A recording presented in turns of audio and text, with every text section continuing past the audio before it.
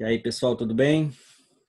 Hoje vai ser uma, uma live bem diferente, porque é um tema que, apesar de eu tratar aqui algumas vezes é, no perfil, né, no Instagram, eu, eu, eu nunca ministrei nenhuma aula, nenhuma palestra sobre esse tema em particular. Né? Na verdade, eu evito, por eu não, por eu não me sentir qualificado é, tendo em vista que eu, que eu, eu não estou acompanhando a parte, a vida do mundo dos concurseiros, que é um mundo próprio, um mundo à parte. É, mas não que eu esteja totalmente deslocado. Na verdade, nos últimos anos eu participei de comissão de concurso, concurso de juiz federal, participei de comissão de concurso de mestrado, doutorado. Então, e a gente acompanha, né, por, outras vias, o mundo dos concurseiros. Meu interesse por esse tema é mais relacionado a aos meus estudos, minha pesquisa sobre aprendizagem, sobre é, life hacks, brain hacks, né, que envolvem a, a, melhor forma de você extrair conhecimento e habilidades é, de um processo de aprendizagem, de estudo, de uma prática deliberada cognitiva, enfim. Para começar, eu falar um pouquinho da minha da do meu histórico como concurseiro, né? Como eu falei para vocês na descrição da live, é, eu parei de fazer concurso há muito tempo, há 20 anos que eu deixei de fazer concurso público, quando eu passei para juiz federal. É, e naquela época era uma realidade completamente diferente. Né? Eu, te, eu, tenho várias estratégias de aprendizagem que utilizei naquela época que eu considero valiosas, importantes até os dias de hoje, mas de um modo geral, hoje está muito mais aprimorado né, o sistema de aprendizagem, a forma de você coletar informação, a forma de você registrar informação e de treinar também mudou bastante pelo pelos bancos de dados que surgiram, as possibilidades que você tem de fazer simulações e assim por diante. Então, a minha ideia aqui é focar um pouco em como eu é, é, faria se eu tivesse que fazer um concurso público hoje. É, o primeiro ponto é uma frase que eu gosto muito. Essa frase ela acompanha a minha vida há algum tempo, é, especialmente depois que eu passei a fazer esportes de endurance. A gente vai ver que muita coisa do que eu vou falar aqui hoje tenta conectar dois tipos de, de estudos científicos: é o estudo da alta performance cognitiva com o estudo da alta performance física. Algumas pessoas sabem, mas eu sou maratonista, já corri algumas maratonas e atualmente estou num treino, se a quarentena permitir, para o Ironman, né? E, portanto, tento conhecer o funcionamento também da alta performance eh, endurance, né? De provas de alta, de longa distância. E essa frase, para mim, ela casa com perfeição, né? em quem vive um processo de aprimoramento de longo prazo, de médio e longo prazo. Quem está focado em metas é, ou objetivos tende, tende a estar em um estado constante de frustração. Perdedores têm objetivos, vencedores têm sistemas. Você só consegue ter sucesso em qualquer atividade se você aderir a um determinado sistema é, é, que proporcione né, esses resultados. Não que metas sejam relevantes, que você não deva traçar metas, não deva ter objetivos. Claro que você deve ter, mas não deve focar nisso. O seu foco é em tentar, é tentar desenvolver um sistema que lhe proporcione uh, a alta performance. Por exemplo, se eu quero fazer um concurso público e eu foco naquele cargo, enquanto eu não conseguir ser aprovado, eu vou estar no estado constante de frustração. Por isso, é muito melhor você construir um sistema que lhe proporcione alcançar aquele resultado do que focar no resultado. Vou dar um outro exemplo para facilitar, que é o exemplo que o Scott Adams dá no livro dele. Ele diz o seguinte: imagine que você quer emagrecer. Se você focar, eu quero emagrecer 5 quilos. Se você focar nesse objetivo, você perdeu um quilo. Você ainda está insat... você ainda não cumpriu o seu objetivo, portanto você está em estado de frustração. 2 quilos, não conseguiu. 3 quilos, não conseguiu. Ou seja, você estará permanentemente em busca de um resultado que você não consegue alcançar e aquilo ali lhe deixa extremamente frustrado. Uma vez que você eventualmente consiga alcançar o resultado, o seu objetivo meio que tira a motivação de continuar e você acaba voltando ao, ao peso anterior. Né? Então, muito melhor do que você estabelecer uma meta de emagrecer 5 quilos, é você estabelecer um sistema de alimentação que lhe proporcione, no médio e longo prazo, ficar com o tipo de físico que você deseja ficar. É, essa é a ideia de, de focar em sistemas e não em focar em objetivos. Você pode traçar objetivos? Pode. Principalmente amanhã eu vou correr 10 quilômetros, semana que vem eu vou correr uma maratona. Não tem problema fazer isso. Mas a ideia é que você use isso como é, é, que você use isso apenas como estímulo imediato. O seu estímulo de longo prazo vai ser a adesão a um determinado sistema eficiente que lhe proporcione o aprimoramento contínuo. O que é que é ter um sistema, na minha opinião? Né? Na minha opinião, o sistema é um conjunto complexo né, de, de atividades que você vai realizar na sua vida. É um estilo de vida. Né? O sistema é um estilo de vida. Então, envolve organizar o seu tempo e a sua atenção, como você consome seu tempo e onde você presta atenção. Né? A, a atenção hoje é a, a commodity mais valiosa que a gente tem, porque existe toda uma indústria que tenta capturar sua atenção. Então, a forma como você controla e gere o seu tempo e a sua atenção é decisivo para você ter um bom sistema é, que lhe proporcione o desenvolvimento pessoal, cognitivo, físico e assim por diante. Envolve controle de hábitos e de rotinas. Né? Eu, tenho, eu, eu gosto de dizer que tudo aquilo que eu consigo encaixar na minha rotina, é, eu sei que, que vai, vai virar hábito né? e, portanto, vai fazer parte da minha vida, vai entrar no meu estilo de vida. É, quando eu decidi fazer triatlo, uma das dificuldades que eu tive foi encaixar uma rotina de treinos, me proporcionar correr, pedalar, nadar, porque eram três esportes diferentes que eu nunca tinha feito natação nem ciclismo, portanto eu tive que encaixar na minha rotina. Existe toda uma ciência de formação de hábitos. A gente vai falar um pouco disso no próximo tópico. Mas a ideia é que se você quiser incorporar qualquer hábito no seu sistema de vida, você tem que começar sem se preocupar com resultados, com eficiência, com performance. Comece fácil e só depois se preocupe em aprimorar. Então, esse controle de hábito é essencial. Outro ponto, conexão e engajamento. Você tem que estar conectado, engajado. A gente vai falar daqui a pouco sobre o conceito de flow. Flow é uma, é uma fórmula mágica da alta performance. Não existe nenhuma é, é atleta ou, ou enxadrista ou músico de alta performance que não viva alguns momentos de sua vida em estado de flow. O que é, que é o flow? É uma conexão tão intensa com, aquele, com aquela atividade que você está fazendo que tudo passa, que você perde a noção do tempo, você perde a noção de espaço, você está ultra concentrado naquela atividade. Como é que você consegue isso estudando para concurso? É, fazendo uma boa seleção de material que você gosta né, que você é, é, e, reconhecendo o valor, a importância daquilo que você está fazendo. Né? Não é tão fácil. Eu, eu reconheço que o estudo para concurso ele é inimigo do flow, mas é, quanto maior a sua conexão com o seu material de aprendizagem, maior vai ser o, essa possibilidade de você entrar em estado de fluxo, de flow, que é um estado de alta concentração e imersão, que vai ser realmente é, a, a, fórmula do sucesso. Né? é, uma coisa que é importante perceber é que é, não é fácil estar, entrar em estado de flow. Estado de flow é um estado que você é, não controla, né? você não escolhe. É, é, algo que acontece sem a sua consciência. Você não tem a intenção, a deliberação de entrar em estado de flow. É, mas quando ele ocorre, você tem que aproveitar ao máximo né? e, e tem que saber que aquilo ali são os momentos efetivos de máxima aprendizagem. Automonitoramento o automonitoramento parece ser incompatível com a ideia de metas e, e que, que eu coloquei lá na frente que você não deve se preocupar com metas. Mas o objetivo do automonitoramento é apenas medir a eficiência do seu sistema. Automonitoramento é um instrumento. Automonitoramento é uma forma de você perceber se você está evoluindo. É uma ferramenta importante. O que é, é automonitoramento? É você se conhecer. Você conhecer o seu estágio atual, né, o seu estágio passado, se você já tivesse automonitorando há mais tempo, e tentar estabelecer se aquilo que você está fazendo está produzindo alguma melhora nesse estágio que você está fazendo, no seu nível atual de conhecimento. Essa é a única função do automonitoramento. Você estabelecer, tipo assim, ah, vou estudar quatro horas por dia. Isso é inútil, isso não tem importância nenhuma. O ideal é que você tenha um processo de automonitoramento para saber é, qual é o seu nível, a sua capacidade de concentração diária e a partir daí tentar se aprimorar cada vez mais, evoluir cada vez mais. E mais importante, mais importante de tudo, curtir o processo. Você só é estilo de vida, é estilo de vida, é um sistema de vida.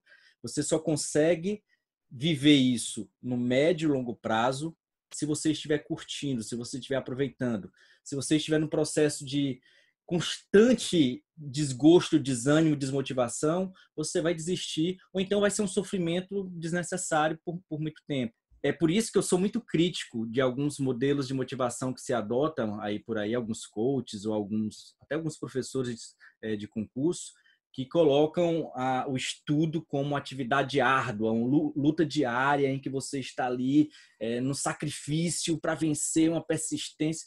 Isso não funciona no longo prazo, no médio prazo. Pode ser que funcione no curto prazo, mas no longo prazo você só conhece, você só consegue um sistema eficiente de aprendizagem se você estiver sentindo prazer, se você está gostando daquilo que, que você está fazendo.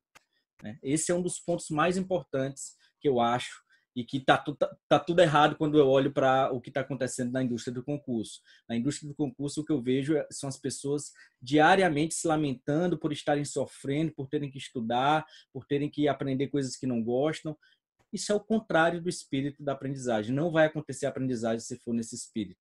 Né? Você vai sofrer desnecessariamente a dor é inevitável. Você vai ter alguns momentos de esforço cognitivo, você vai ter alguns momentos que você vai ter que se é, tentar se superar, mas o sofrimento é opcional. Você, é, essa é uma frase que, eu, que, eu, que tem de um famoso maratonista que ele diz: a dor é inevitável, mas o sofrimento é opcional. O sofrimento é opcional. Se você se engajar e estiver conectado com o que você está fazendo, não há necessidade de sofrer.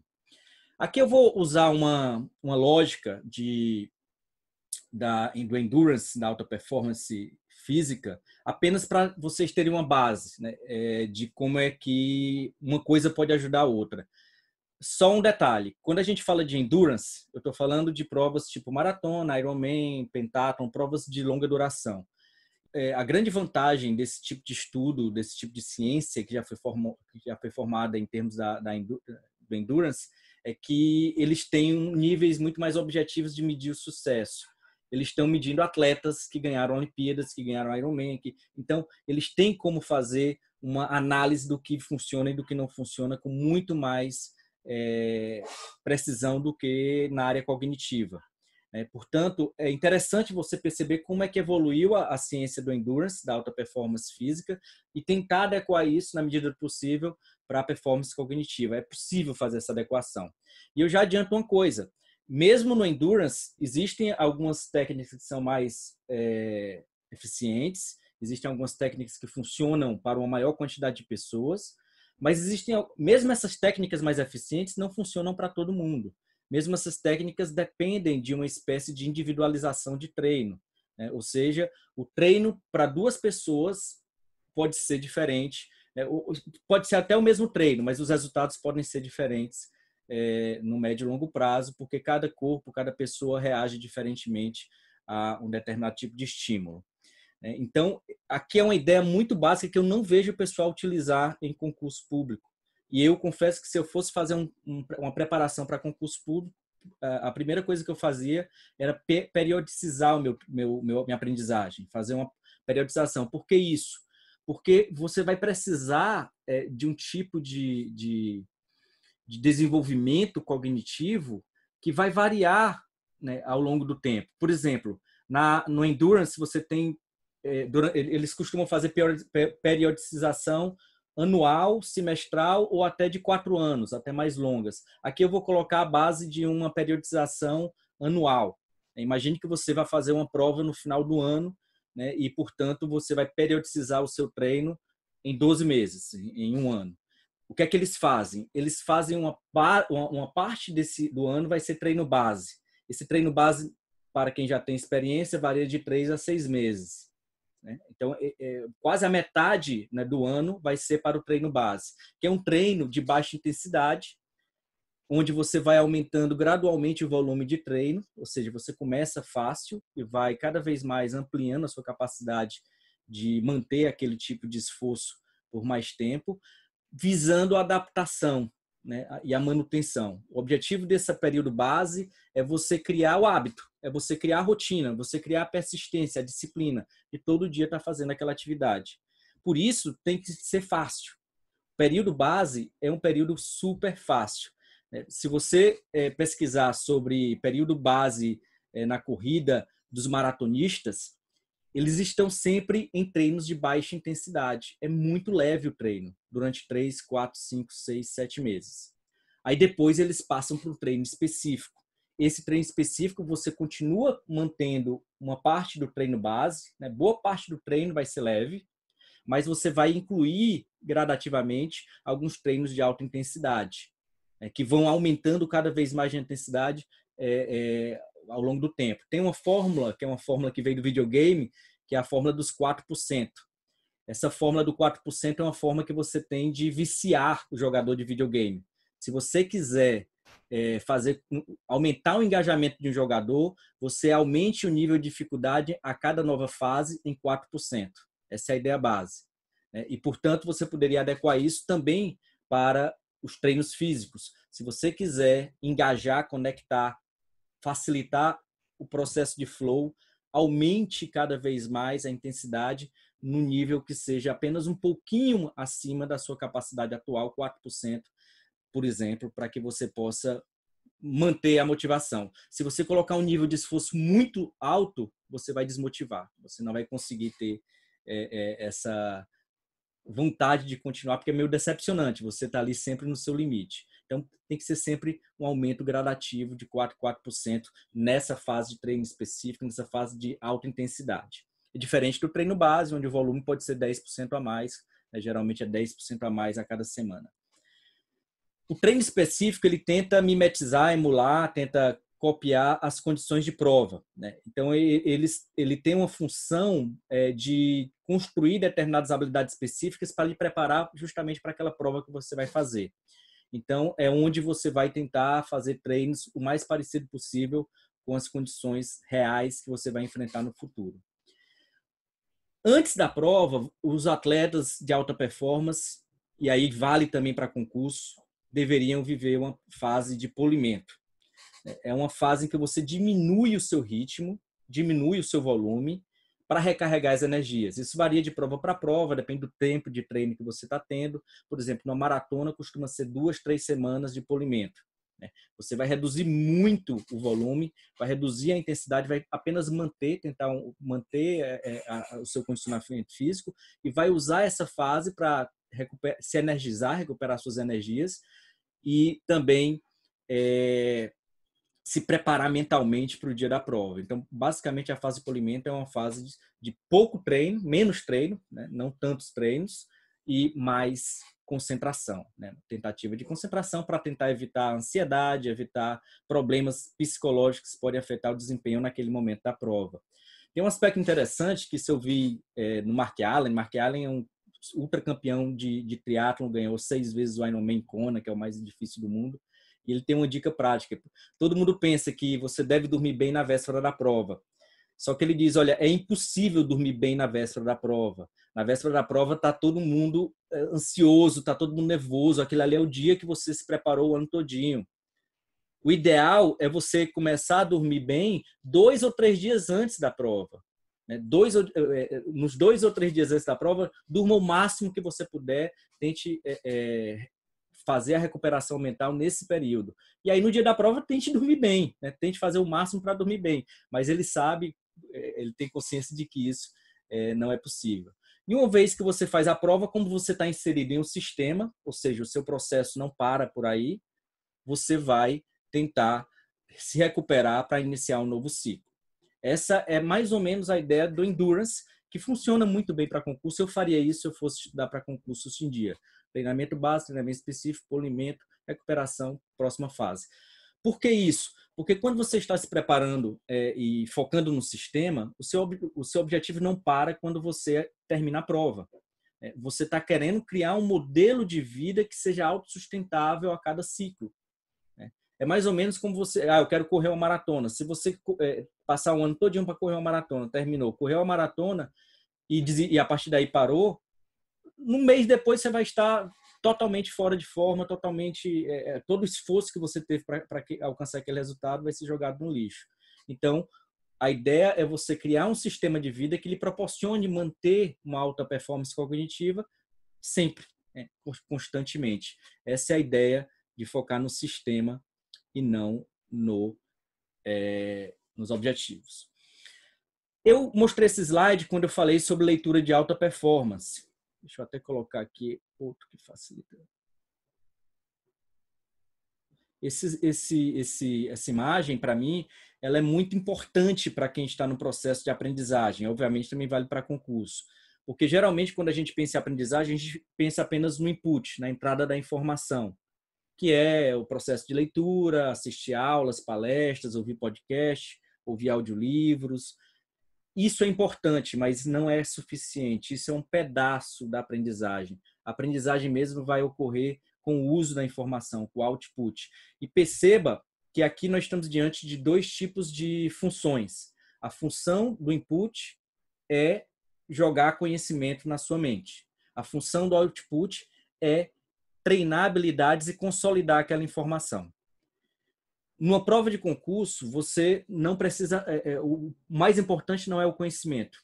É, o, o, o concurso mede né, a, o seu conhecimento, mede a sua capacidade de acumular conhecimento, de memorizar informações, sem dúvida nenhuma, mas ele também mede, talvez até com muito mais intensidade, algumas habilidades. Algumas habilidades como gestão de tempo, habilidades comunicacionais, escrita, é, criatividade, improviso, raciocínio lógico. Mesmo que não cobre raciocínio lógico, você vai precisar interpretar um texto, vai precisar chegar a conclusões é, e resolver questões que você não sabe, não tem um conhecimento para resolver. Né? E isso você constrói através do output.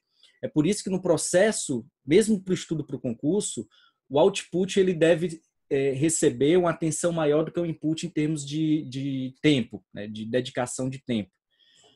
Eu não quero dizer uma fórmula mágica, ah, selecione 30% do seu tempo para o input e 70% para o output, mas eu diria que sempre dedique mais tempo da sua agenda para o output do que para o input. Né. O input ele, ele é mais fácil, ele é mais leve, ele cria, cria uma ilusão de fluência, aquela ilusão, ah, isso aí eu estou aprendendo, estou sabendo, mas é enganador. Ele não gera aprendizagem efetiva. Aqui vem mais uma vez aquela ideia de que o cérebro está programado a jogar fora informações inúteis. Nosso cérebro é uma eficiente máquina de filtrar o que é relevante do que é irrelevante. Se você joga no seu cérebro informação e não usa essa informação, o cérebro vai interpretar isso como irrelevante vai jogar fora. Se você usa a informação, o cérebro vai entender isso como relevante. Ou se você repete aquela informação várias vezes, ele vai entender isso como relevante. Então, a fórmula que você tem para mostrar para o seu cérebro que aquela informação é relevante é por meio do output. Né? Por isso que não adianta você passar 3, 4, 5, 6, 7, 8, 10 horas por dia lendo ou assistindo aulas, porque isso não vai gerar aprendizagem. O que vai gerar aprendizagem é o processo de leitura, de input, mais o processo de output, né? que é o que se chama convencionalmente de aprendizagem ativa, metodologias ativas, mas na verdade é o uso da informação. Né? É, fica enganador porque não há uma hierarquia, né? não há uma hierarquia desses, desses, desses métodos. É óbvio que alguns são mais eficientes em termos de conseguir consolidar melhor a memória, mas cada um treina determinados tipos de habilidades. É, se você quiser, por exemplo, se a sua preocupação for concentração, a leitura é mais, mais eficiente do que assistir uma aula por vídeo. Né? Se você quiser, por exemplo, é, ganhar tempo, você ouvir um audiobook em, em velocidade 2, você vai conseguir acumular o máximo de informação possível. Né? Vai ter pouca eficiência em termos de consolidação da, da, da, da memória, mas em termos de, de, de, aprendizagem, você vai estar acumulando informação, de algum modo. Boa parte dessa informação vai ser jogada no lixo. Né? E a mesma coisa nos output. Cada, cada função dessa tem, uma, tem, uma, tem um objetivo. Da aula é, um, costuma ser o mais eficiente porque é rápido, mais rápido do que escrever um texto. E você, tem, você treina capacidade, habilidades comunicacionais, estruturação de ideias, que é fundamental. Né? Você recupera a informação que você recebeu, né? Tudo isso gera esforço cognitivo e, portanto, gera aprendizagem. Só que escrever o texto é também importante. A escrita geralmente é negligenciada por quem estuda para concurso. Porém, é, vai ser importante não só para a fase objetiva, a fase subjetiva, a fase dissertativa, que você vai ter que escrever, mas também porque ela é uma forma interessantíssima de você construir é, estilo de linguagem e estrutura, estruturação de ideias não se iludam. Se você quer ser, quer passar no concurso, você precisa ser um bom estruturador de ideias. Eu falei para vocês que eu participei da banca de juiz federal né, da quinta região no ano retrasado e corrigi, sei lá, centenas de provas de pessoas de alta performance, pessoas que passaram na primeira fase da prova objetiva. Ou seja, as pessoas que chegaram na fase de sentença eram muito boas. Depois de eu ter corrigido, sei lá, 80, 90 provas, eu consegui identificar, consegui ter uma capacidade de perceber quem ia ser aprovado apenas olhando as primeiras, é, é, os primeiros parágrafos. Dois, três parágrafos, eu disse, esse cara é bom, esse cara vai passar. E, e como é que eu sabia isso? Depois que eu corrigia, depois que eu dava minha nota, eu comparava com a nota dos outros candidatos, dos outros avaliadores e invariavelmente eu acertava. Ou seja, eu tinha uma capacidade de prever quem ia passar olhando três parágrafos da prova do cara. Como é que eu sabia isso? Porque naqueles três parágrafos ele demonstrava que tinha um estilo de linguagem elegante, que tinha um domínio é, do conhecimento ao ponto de conseguir estruturar bem a informação e apresentar para quem vai corrigir a prova, para quem vai avaliar, né? e conseguia também é, é, em poucas palavras, impactar, gerar um impacto que depois ia se refletir no restante da questão. Então, não se iludam, treine, treine a habilidade de escrever, não só a questão de escrever tecnicamente, mas escrever com elegância, escrever com objetividade, escrever com clareza. São habilidades que valem para a vida, não vale apenas para o concurso. É, e aqui tem um outro aspecto interessantíssimo. É, estudar para concurso é conhecimento, muito, é, muita parte desse conhecimento você não vai aproveitar para a vida, mas também habilidade. E a habilidade você aproveita para a vida. Capacidade, disciplina, persistência, memorização, é, concentração, foco. Tu, todas essas habilidades que você precisa treinar, né, desenvolver quando está estudando para concurso, vão, vão servir para a vida toda. Né? Portanto, mais uma razão para você focar mais no output. Mesmo que eventualmente você não queira continuar na vida de concurseiro, você vai levar é, para outra profissão essas habilidades que você adquiriu. E o inverso também é verdadeiro. Muitas pessoas dizem, ah, professor, mas eu, ah, George, eu, eu passo oito horas da minha vida trabalhando, eu não tenho tempo para estudar. No trabalho, você treina habilidades. É, é, quase todo trabalho envolve habilidades comunicacionais, o que chama soft skills, é, negociação.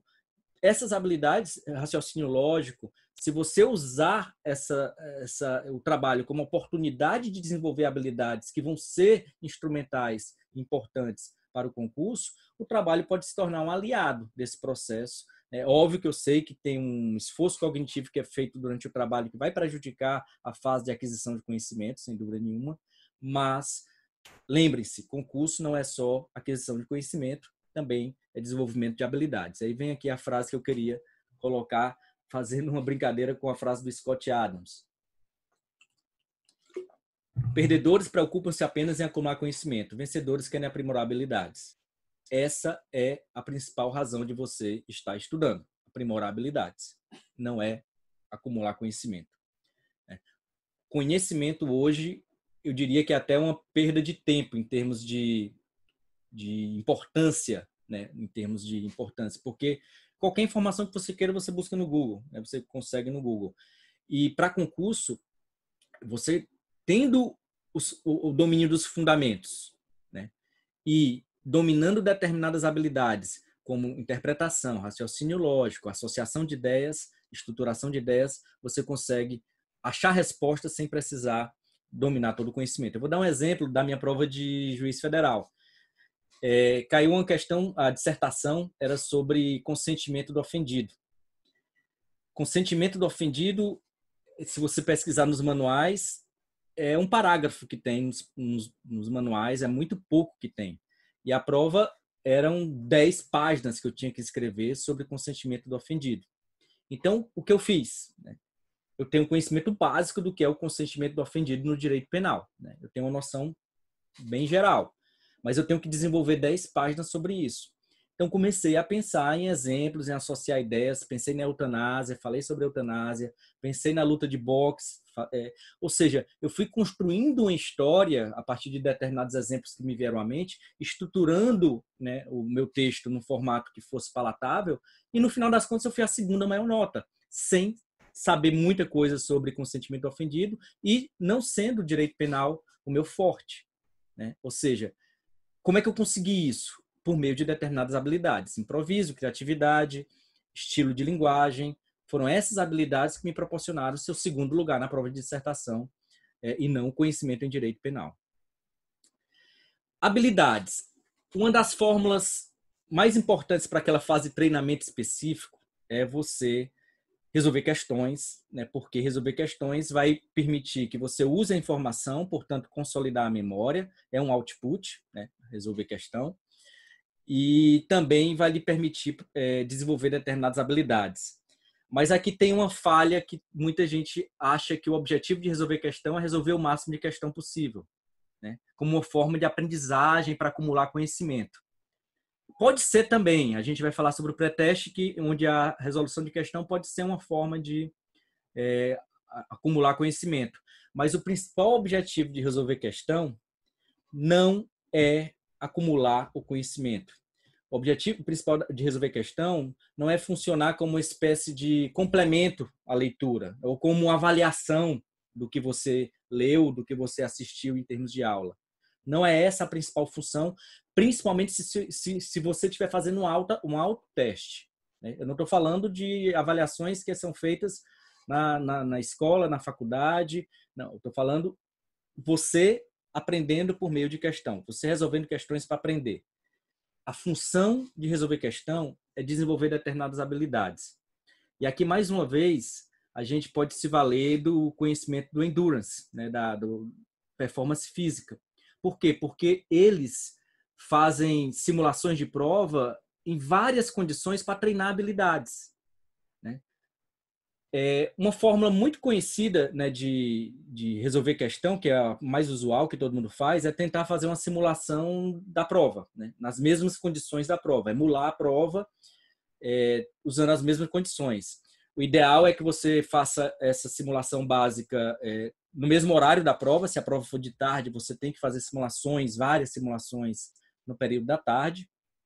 O ideal é que você faça isso consistentemente, pelo menos uma vez a cada semana, reproduzindo exatamente as mesmas condições da prova. O ideal é que você, por exemplo, se você for fazer uma simulação é, para uma prova de juiz, você tente é, reproduzir as condições daquela prova. Se a prova for pesquisada, também pesquise né, no momento que você que você estiver fazendo a, a, simulação.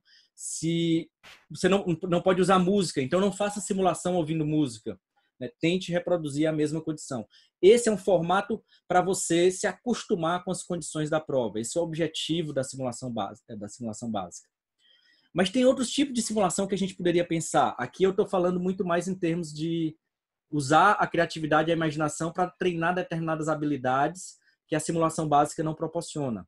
Isso aqui eu fiz é, com meu filho. Meu filho ele é, foi treineiro agora no Enem e eu passei alguns meses com ele fazendo alguns tipos de simulações diferentes. É, ao invés de simplesmente ele resolver provas, né, resolve, que ele já fazia a simulação na escola, né, a simulação básica, então eu optei por com ele fazer um treino diferente. É, o treino que eu fiz com ele foi, olha, vamos fazer hipersimulações e simulações fuse. O que é, que é a hipersimulação? É você pegar, por exemplo, 10 questões da prova, aleatórias, embaralhadas, eu vou já dizer por que, é importante isso, e fazer com que ele responda o mais rápido possível. Você primeiro mede mais ou menos a velocidade que ele faz cada questão, né, uma simulação normal. É, no tempo normal dele, por exemplo, ele fazia em 1 minuto e 30 cada questão. E eu falei, olha, a partir de agora a gente vai fazer 10 questões em um minuto faça rápido, faça pensando o mínimo possível. O objetivo não é, é desenvolver conhecimento, o objetivo é você criar a capacidade de fazer raciocínio rápido. Na medida em que ele se acostumou a fazer as, as questões em um minuto, a gente reduziu para 50 segundos. Né? Então, você vai desenvolvendo essa capacidade. Isso é hipersimulação. Na hipersimulação, você coloca um ritmo acelerado, é mais curto, não é uma simulação de quatro horas, é uma simulação de meia hora, no máximo 40 minutos, um pomodoro, digamos assim. É, e, e, e, o objetivo é que ele faça o mais rápido possível para desenvolver a habilidade de raciocínio rápido. Por que isso? Porque pode ser que no momento da prova esteja faltando lá, sei lá, 30 minutos para acabar a prova e ele tenha ainda 20, 30 questões para fazer. Então ele vai precisar fazer isso rápido. né? e, portanto, ele vai estar preparado já para fazer rápido. Óbvio que a qualidade não vai ser a mesma do que se ele estivesse fazendo lenta, mas ele vai conseguir fazer mais rápido. Outra vantagem dessa hipersimulação, dessa, desse exercício rápido, é que vai treinar um, um tipo de, de capacidade que é a aprendizagem consciente, a aprendizagem implícita, a aprendizagem é, sensorial. Se vocês pesquisarem, é muito é muito avançada essa parte. Né? Parece parece loucura, mas funciona. É, inclusive, se, se você quiser aprender música, por exemplo, uma das formas mais fáceis de aprender música, muitos programas de computador fazem isso, é por meio da, da aprendizagem sensorial. O que é, que é isso?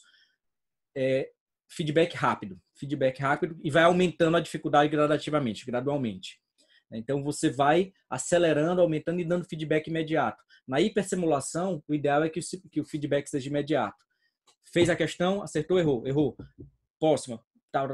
Aí depois você volta para aquela que você errou. E aí você, é, uma vez que acertou, passa para a próxima. Né? Ou seja, é, essa é a ideia da hipersimulação e o objetivo é justamente tentar desenvolver a capacidade de identificar rapidamente padrões na prova.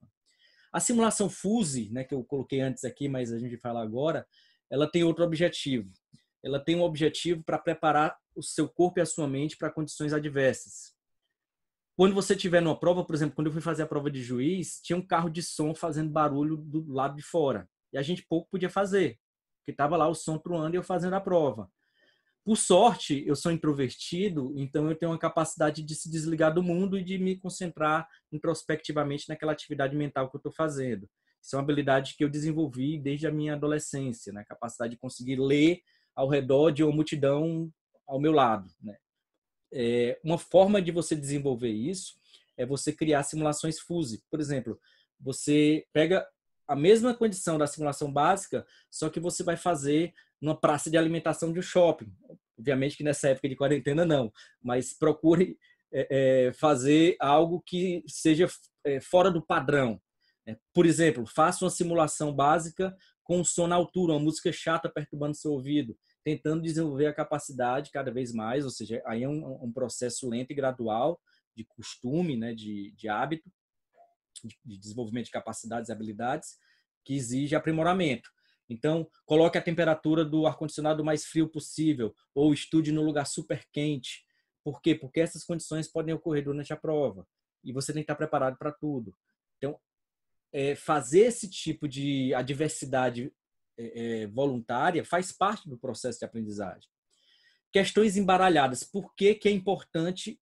Um erro muito comum quando você está estudando por questão de concurso é você pegar, eu vou responder 10 questões de constitucional e aí você começa a resolver questões de constitucional.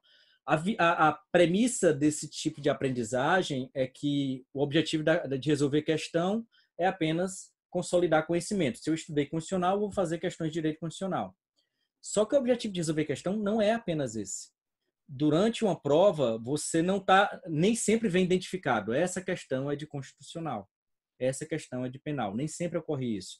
Uma das habilidades que você precisa para identificar a questão, para você fazer bem uma prova, é você identificar a natureza daquela questão, a natureza do problema que aquela questão exige. Então, embaralhar as questões, fazer questões de penal, sem saber quais são penal, constitucional, tudo embaralhado, faz parte também do processo. Também é importante que você treine isso, porque na medida em que você estiver resolvendo, você vai também desenvolver a habilidade de, ao ler aquela questão, conseguir inferir qual é a matéria, qual é o problema que ela quer resolver, e isso você vai evoluindo com o tempo.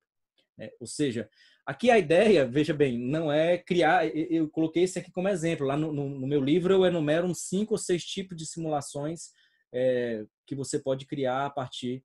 Pode fazer gamificação, pode fazer várias técnicas de simulação é, usando a criatividade. Eu usei essas apenas para vocês perceberem que resolver questão não é simplesmente pegar, sentar a bunda na cadeira e resolver 100 questões por dia. Pode até ser é, legal isso, mas só que isso não gera o efeito mais importante, que é treinar determinadas habilidades, onde condições adversas, embaralhamento, dificuldades vão ajudar, né? vão ajudar a desenvolver essas habilidades. E aí vem o pré-teste. O pré-teste é, ele é uma, uma, técnica muito valiosa, só que ela, ela é perigosa. O pré-teste basicamente é você, antes de fazer o input, né? antes de você adquirir o conhecimento sobre um determinado assunto, matéria, você primeiro faz algumas questões, tenta fazer algumas questões sobre aquela matéria e depois vai estudar. Qual a importância disso? A importância disso é preparar sua mente para o input. É você direcionar a sua atenção para aquilo que importa, para aquilo que costuma ser cobrado. Então, quando você tem uma noção dos problemas que costumam ser cobrados naquele assunto, através de pré-testes, você, quando for fazer o input, o input se torna mais eficiente. Isso é, isso é fato.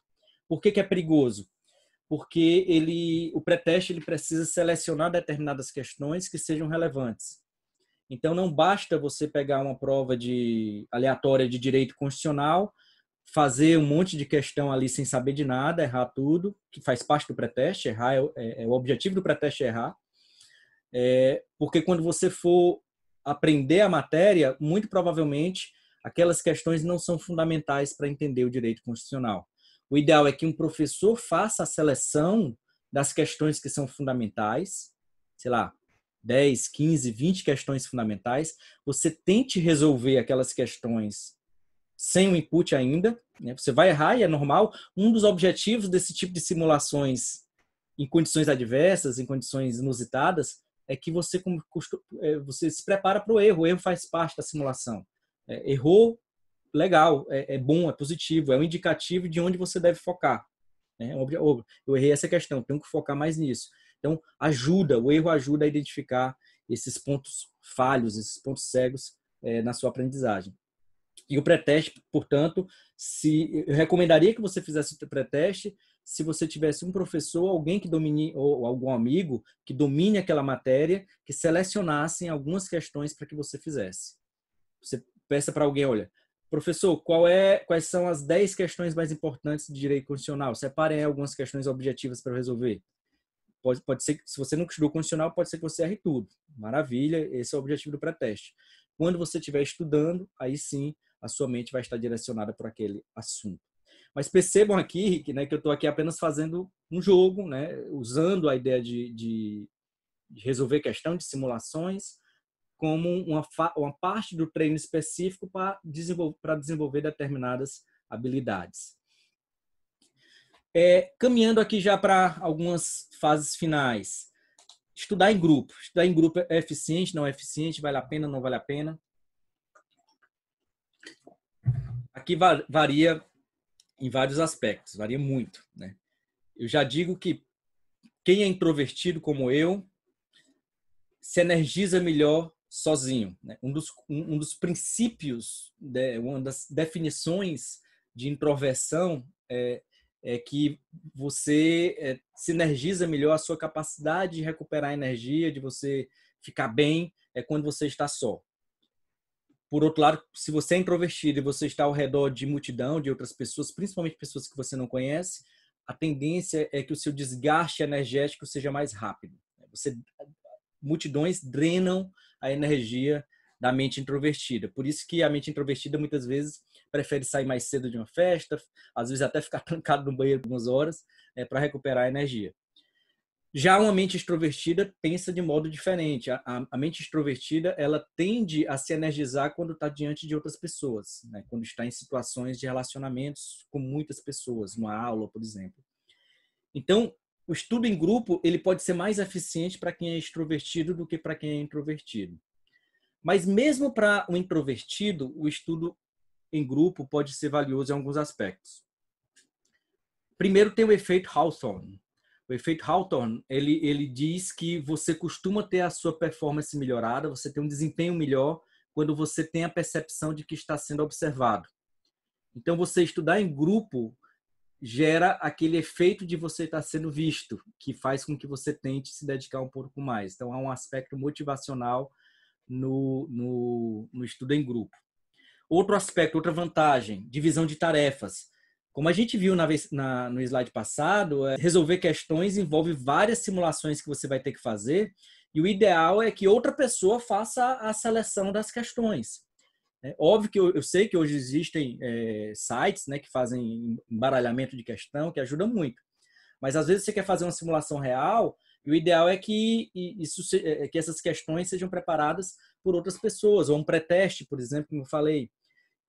Quando você está em grupo, você pode dividir tarefas, né? cada um preparando o material que vai ajudar o outro nessa parte de, de simulações, inclusive podendo se fazer simulações em grupo, né, para poder é, é, mimetizar a condição da prova em que outras pessoas também vão estar presentes.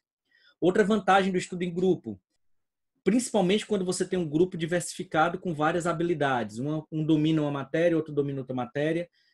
Esse estudo em grupo diversificado ele vai permitir que você ilumine determinados pontos cegos. Basicamente, é, uma, uma, uma fórmula muito básica de estudo em grupo é você fazer algumas questões, 20, 30 questões, e corrigir em conjunto. Na medida em que alguém vai errando, alguém vai explicando. Né? Alguém que saiba a resposta explica por que, que aquela resposta foi errada. É uma forma muito dinâmica, muito rápida e muito eficiente de aprendizagem, porque você consegue rapidamente descobrir o ponto de erro. Outra vantagem do estudo em grupo, habilidades comunicacionais. O grupo permite que você consiga desenvolver habilidades comunicacionais. O método Feynman, que é dar uma aula sobre o tema que você está aprendendo, é um método básico e às vezes outra pessoa pode ajudar você a desenvolver essa técnica. Uma dica que eu dou para quem está estudando em grupo é que os grupos não sejam muito grandes, três, quatro, cinco pessoas no máximo, todos estejam na mesma sintonia. E quando alguém estiver dando uma aula para o grupo, o grupo faça o papel de, de advogado do diabo, no sentido de sempre buscar mais explicação sobre aquele tema. Porque na medida em que você tem alguém no grupo que diz, olha, eu não entendi, pode repetir, repetir de novo, a pessoa vai se esforçar a tentar explicar aquela matéria sobre, sobre outra perspectiva e isso gera aprendizagem. Então é interessante que o grupo ele esteja de acordo quanto a isso. O objetivo do grupo é desenvolver habilidades comunicacionais e não só adquirir conhecimento. Só que tem um problema, né? O único problema do grupo, por isso que ele não pode ser a única forma de estudo, é que o grupo se movimenta na velocidade da parte mais lenta. Isso é uma, uma, para quem para quem é ciclista sabe que essa, esse é o princípio do pelotão, né? o pelotão ele anda na velocidade do mais lento. E, portanto, muitas vezes a aprendizagem em grupo ele gera uma menos eficiência em termos de tempo, de velocidade da aprendizagem. Então, por isso que eu acredito que um dos pontos importantes é que, primeiro, estejam mais ou menos todos no mesmo nível, não precisa ser exatamente no mesmo nível, mas todos pelo menos com a mesma intenção de ficar no mesmo nível né, e crescer juntos. Né, fazer um processo de crescimento juntos e, e que é, não seja um único método de aprendizagem. O método de aprendizagem principal, na minha ótica, tem que ser o solitário né? e o estudo em grupo como ferramenta motivacional para que você consiga dividir tarefas e também é, tornar eficiente determinados tipos de aprendizagem que exigem habilidades comunicacionais e, e, e eliminação de pontos cegos. Ok? Pronto, a gente está caminhando já para a parte final e essa parte final costuma ser a mais negligenciada e a mais, ao mesmo tempo, a mais importante. Eu tenho um capítulo específico sobre descanso no meu livro e eu tenho certeza que ele vai ser o capítulo menos lido, mas ao mesmo tempo vai ser o mais importante. Crescimento e ganhos, crescimento e ganhos vêm em períodos de descanso essa fórmula é a fórmula básica da alta performance cognitiva e física. Nenhum atleta, todo atleta sabe que o desenvolvimento ocorre quando você está parado. Geralmente, se você pegar, por exemplo, um atleta, um, atleta, um alterofilista, o alterofilista ele vai destruir o músculo dele, vai destruir durante o exercício. O objetivo do alterofilismo é destruir o músculo, destruir o máximo de fibra muscular possível, para quando ele estiver descansando, está recuperando, está sendo reconstruído e, portanto, ele está se fortalecendo a partir dali. Então, o descanso, ele gera o ganho. Né? É isso que a, que a frase da Amélia Boone quer dizer. A mesma coisa com performance cognitiva, né? com esforço cognitivo. Você está ali trabalhando neurônios, mas no momento de descanso é que esses neurônios vão ser conectados né? e, portanto, você tem que descansar. É, alguns autores, para quem conhece a ciência da alta performance, sabe que uma fórmula base, né, a melhor forma de, de alta performance é o que eles chamam de prática deliberada. A prática deliberada é aquele treino que é planejado, com feedback, é, espaçado, né, rigoroso, intenso.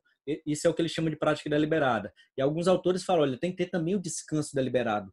Você tem que dar mais horas de descanso deliberado do que de prática deliberada. Até porque o treino intenso ele tem um limite do corpo humano. E o limite, é, é, alguns dizem que é quatro horas. Essa é a capacidade máxima que o seu cérebro e o seu corpo têm de exercer um alto esforço. É, por isso você precisa de um descanso.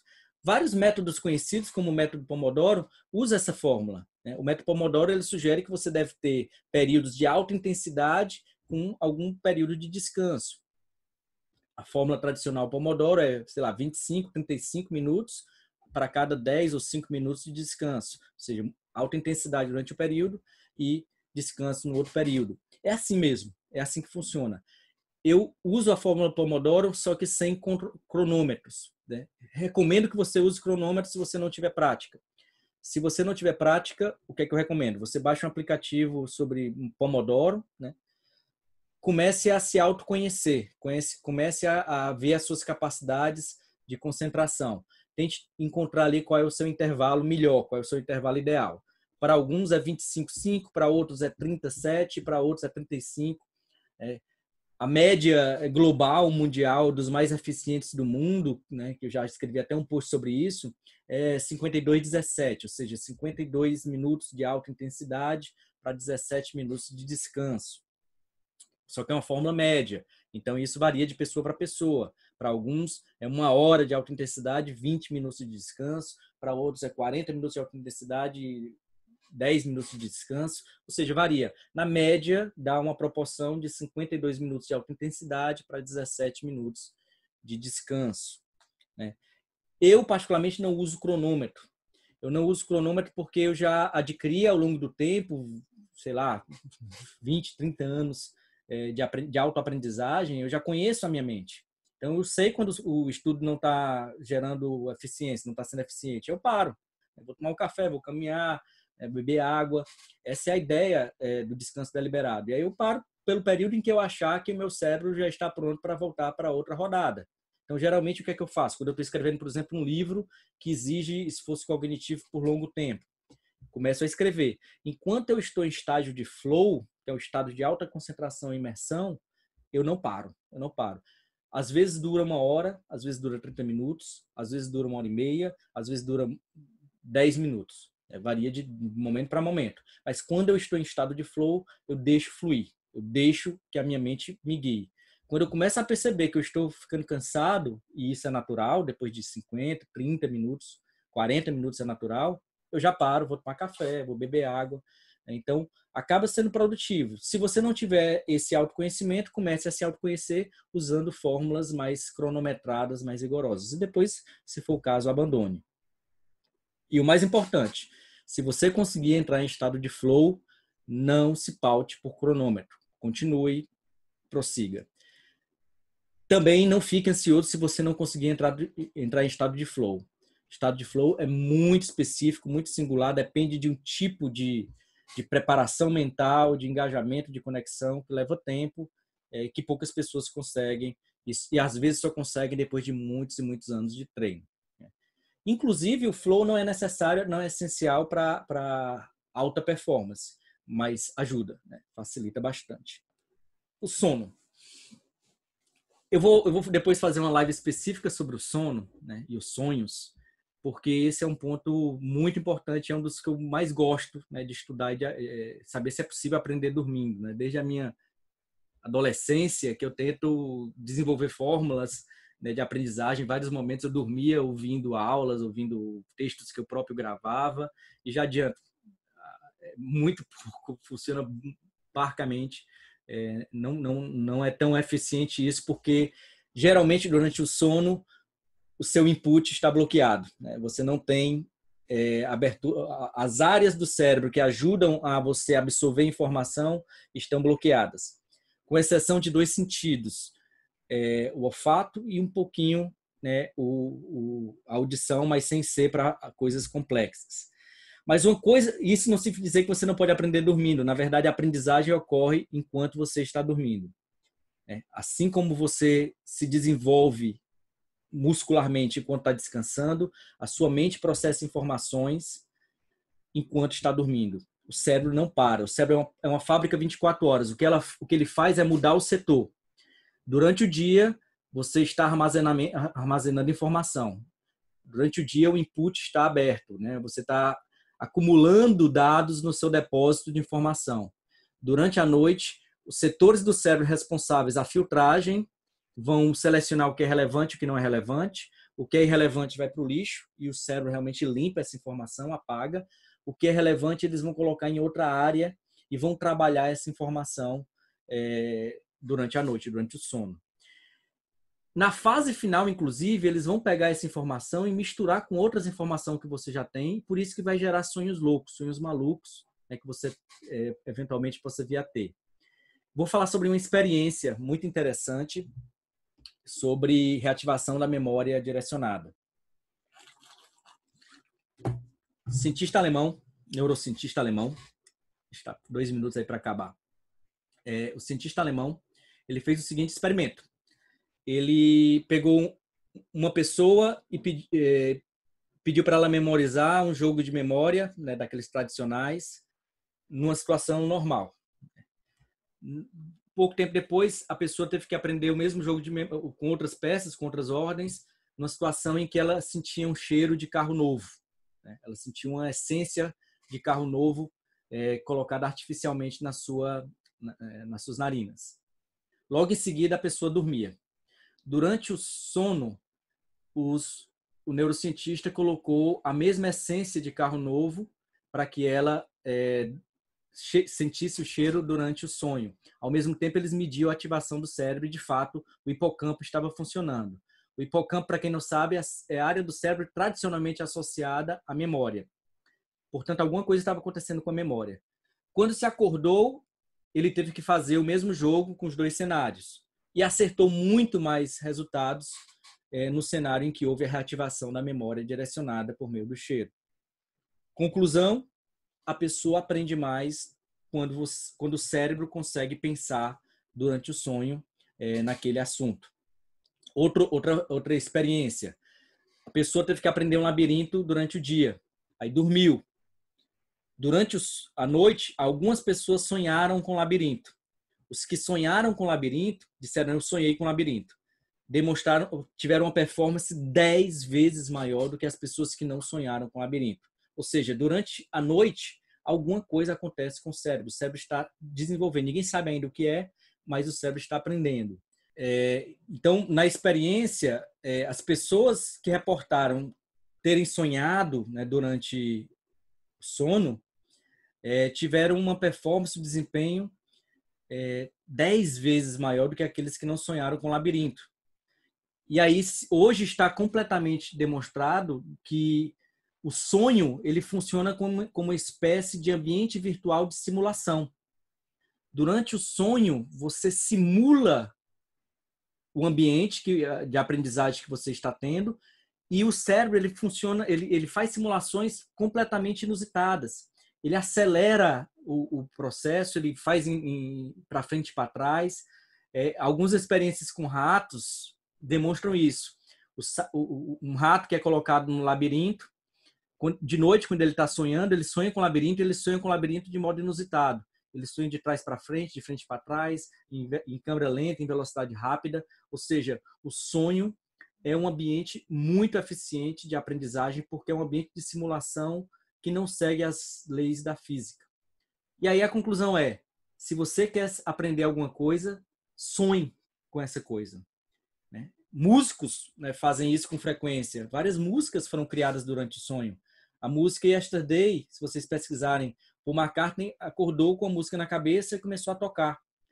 A música I Can Get No Satisfaction, é, do Rolling Stones, foi a mesma coisa. Se eu não me engano, o Kate Richard, ele, ele geralmente dormia com o gravador ao lado, e quando ele acordou de manhã, tinha o gravador estava usado. E ele, é bem isso, não, não usei o gravador, e quando ele colocou a música, tá, tinha um riff de I Can Get No Satisfaction que ele fez durante a noite e ele não se recordava é, disso. Então, é, o, sonho, o sonho ele é uma, uma poderosa fórmula de, de, de, processamento de ideias, de informação, porque não segue é, nenhuma lógica e, portanto, gera produtos totalmente inusitados que você não está esperando. Se você pesquisar também sobre o Michael Phelps, né, o maior medalhista olímpico da história, e se perguntarem para ele qual é o segredo de sucesso dele, ele dizia: Eu durmo muito. Ele quase toda noite antes de dormir, ele mentalizava a prova que ele ia fazer, ele mentalizava a prova perfeita. E ele disse: com frequência eu sonhava com a prova. Com frequência eu estava tão conectado com aquela atividade, com a natação, que de noite eu ficava sonhando nadando, né? E, e, e, portanto no dia seguinte era como se ele tivesse treinado na mente dele muito mais tempo e mais vezes do que qualquer outro atleta. E aí portanto ele era imbatível na água. Né? E ele inclusive ele disse que dormia 10 horas por dia normalmente e ainda tirava uma soneca de uma duas horas durante a tarde. Né? Então a vida dele era treinar e dormir basicamente né? e comer, né? obviamente. Então sonhar é uma das principais dicas que eu dou é, em termos de aprendizagem. Você vai ter uma aprendizagem muito mais eficiente se você conseguir sonhar com material de aprendizagem. Como é que você faz isso? Tem algumas dicas práticas.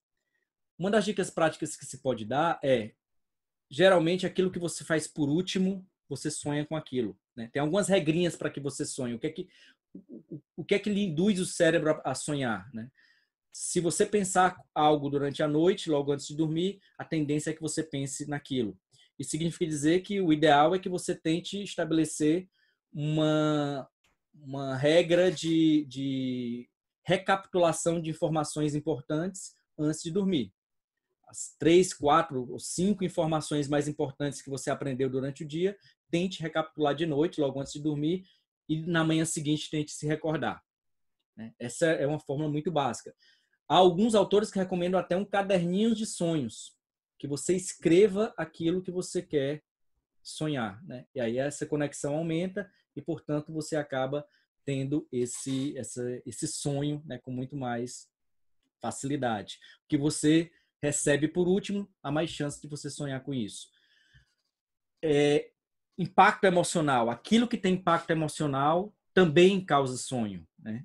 Por isso que as pessoas geralmente têm pesadelos quando assistem filme de terror.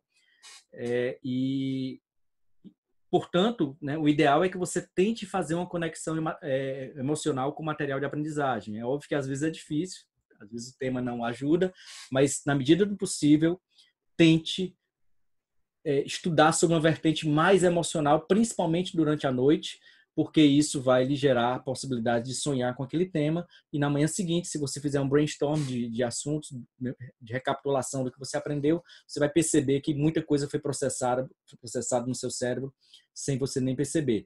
E outro ponto, aqui é um ponto que pouca gente é, é uma dica que eu vou dar, é, que eu não queria dar essa dica porque vai parecer que eu sou bitolado demais, mas o objetivo não é esse. O objetivo é perceber que se você tiver no objetivo de alta performance, se você tiver focado na aprendizagem, no meu caso, por exemplo, se eu tiver focado numa pesquisa de um livro ou de um artigo, eu tenho que sonhar com esse tema. Eu tenho que forçar, tenho que incentivar meu cérebro, tentar induzir meu cérebro a sonhar com esse tema. Como é que eu faço isso? Evitando ter é, desgaste emocional, impacto emocional paralelo com outros assuntos antes de dormir. Por exemplo, assistir um filme de alto impacto emocional logo antes de dormir. Ao fazer isso, você está sinalizando para o cérebro uma outra direção. Né? O cérebro ele vai sonhar mais com aquilo que teve impacto emocional do que com aquilo que você estava aprendendo. Então, o ideal é que se você quiser assistir um filme, você faça isso muito antes de dormir e não logo antes de dormir se você quiser sonhar com algo antes de dormir, não contamine seu cérebro com informações que possam concorrer paralelamente. Quer assistir um filme, quer assistir um seriado, faça isso num período que não atrapalhe o seu sonho, se o seu objetivo for ter essa, esse hiperdesenvolvimento rápido sobre aquele assunto.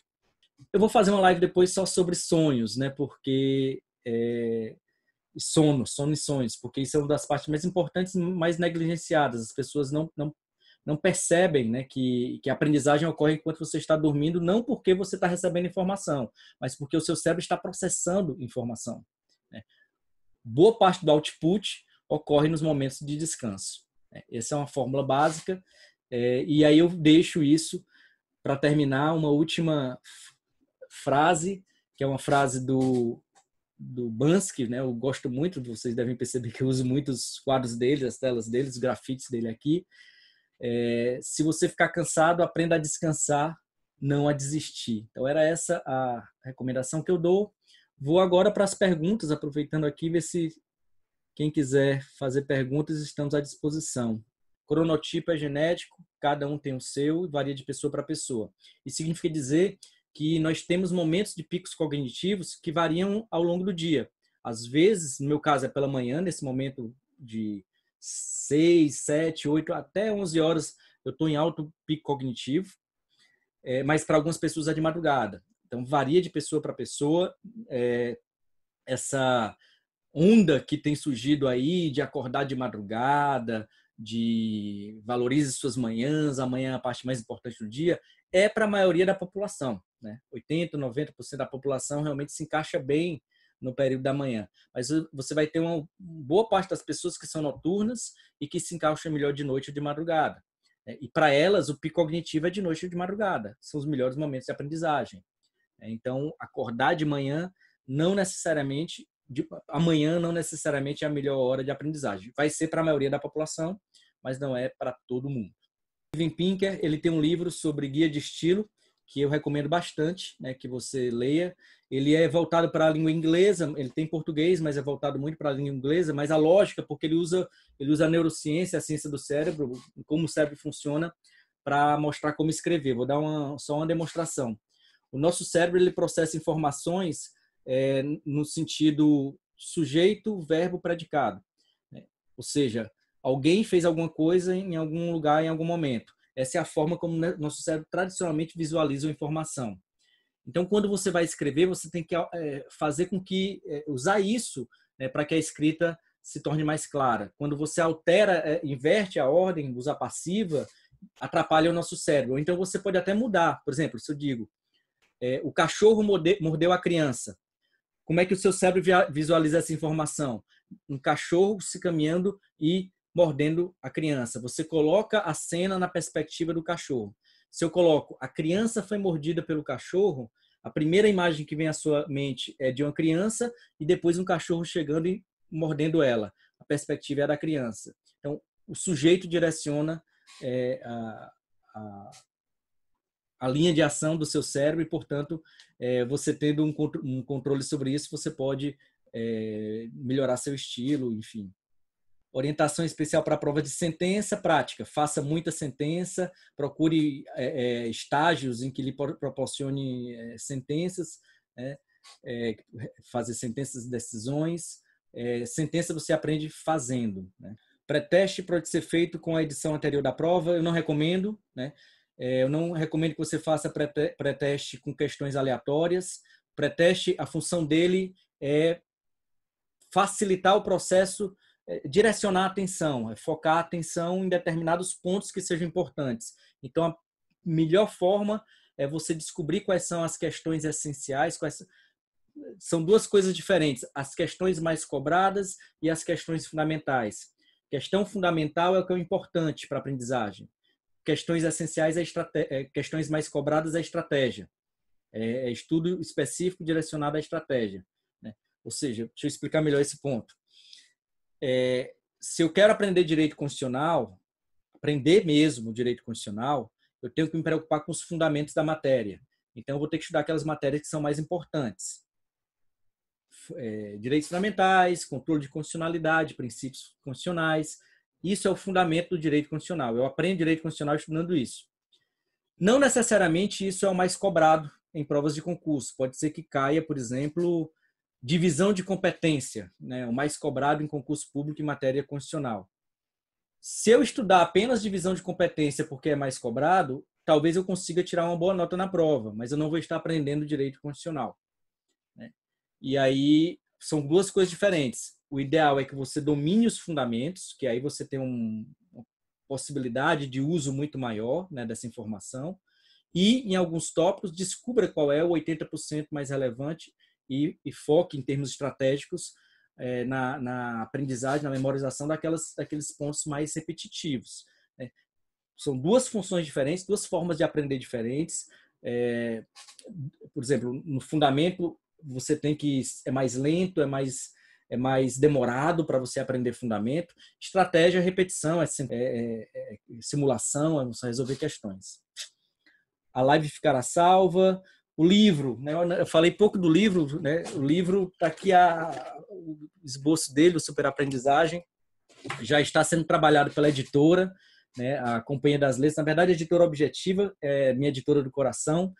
Quando eu resolvi escrever esse livro, eu estava pensando na, na, no formato da, da, da Objetiva.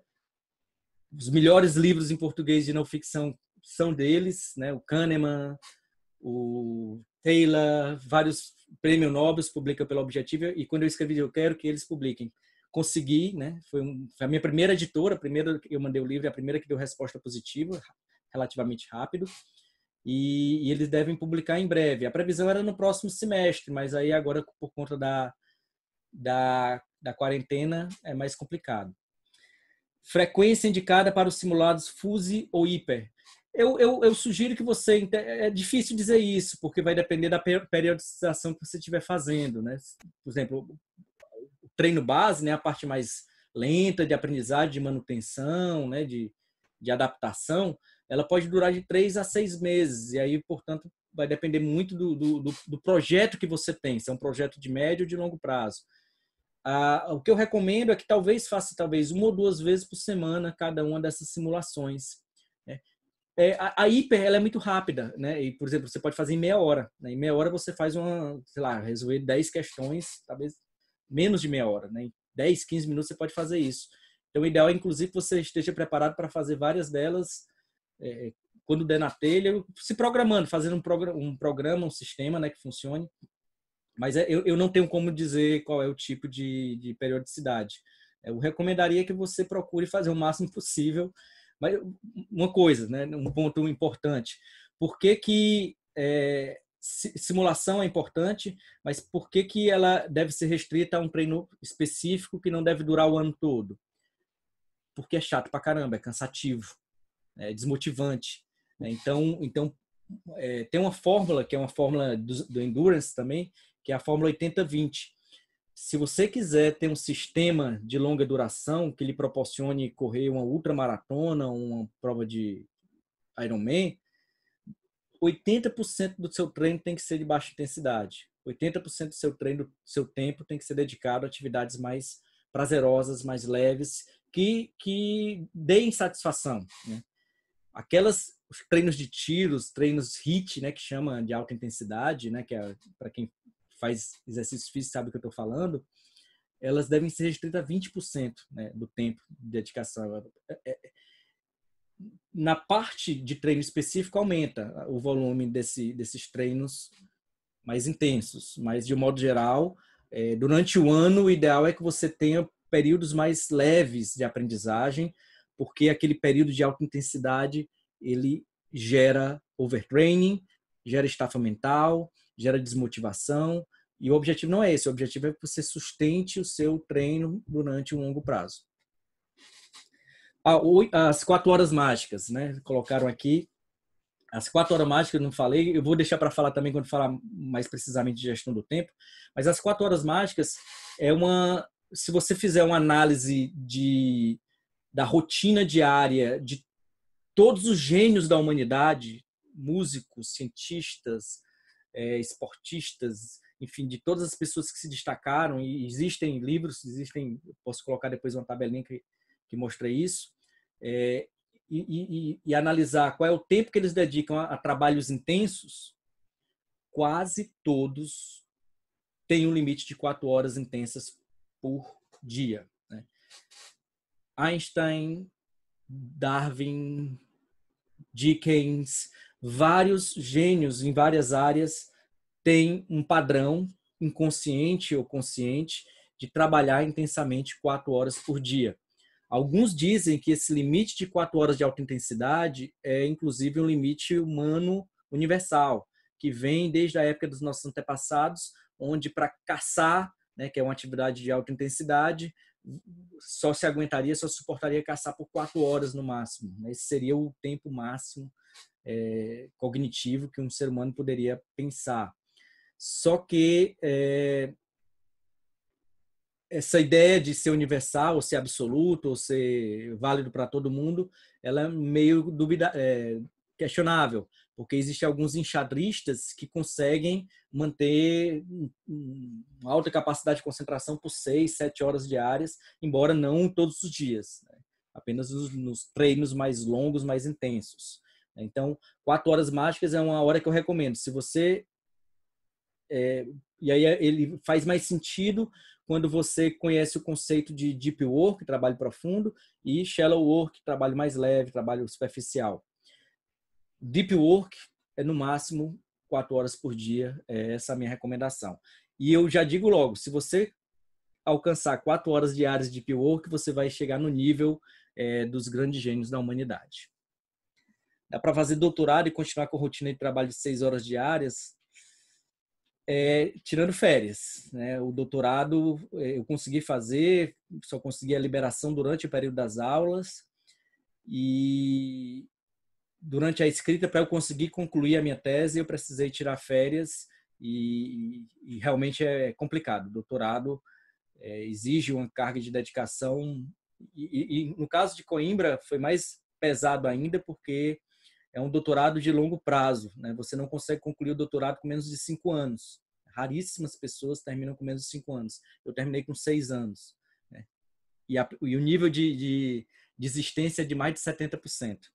Revisar é deep work. Né? Revisar é deep work. Revisar é output. Não existe revisão de input. Isso aqui é um erro básico que as pessoas é, acham que, ah, revisar eu vou reler, eu vou reassistir a aula. Revisar é você resolver a questão da aula e escrever sobre aquele tema.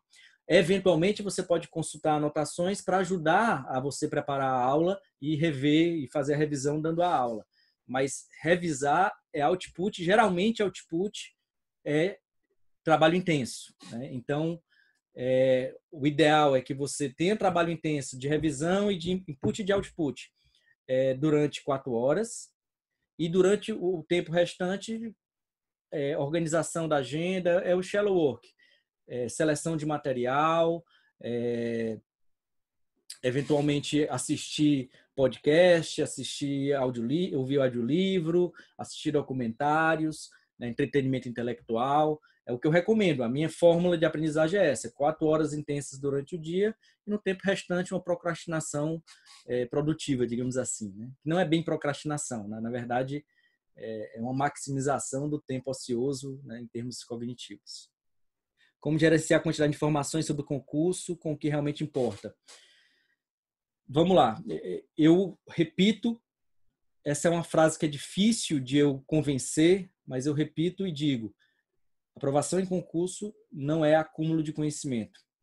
Aprovação em concurso é acúmulo de conhecimento relevante e treino de habilidades para você saber usar esse conhecimento, associar, associar ideias e desenvolver é, é, novos produtos a partir daquilo que você já sabe como é que você, o que é que você sabe que é relevante? São duas coisas que são relevantes. Fundamento de cada matéria, das matérias mais importantes. Você tem que saber os fundamentos né, de todas as matérias. É isso que vai lhe permitir dominar aquela matéria e descobrir respostas sem precisar é, é, saber o conhecimento, ter lido sobre aquilo. E aquilo que é mais cobrado. Né? Então, aí é um, um, estudo estratégico, digamos assim. Então, basicamente, o que é relevante para o concurso público? Estudar os fundamentos e estudar o que é mais cobrado. Né? São os dois pontos que eu reputo é, mais relevantes. Eu posso revisar só fazendo questões, não consigo fazer resumos porque acho que não rende e perco muito tempo. Professor, como lidar com a decorébula?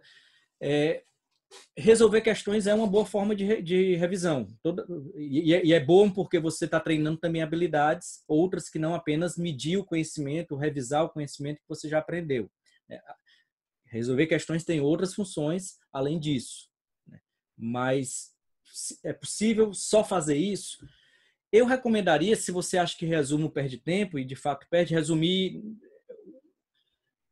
Resumir é, é, é, é um, é um momento de, de, é uma leitura ativa, né? então não é propriamente um output autêntico, né? porque você está ali consultando e reproduzindo, consultando e reproduzindo. O ideal né, não é fazer o resumo, né? o ideal é fazer uma espécie de mapa mental e logo em seguida dar uma aula sobre aquele tema.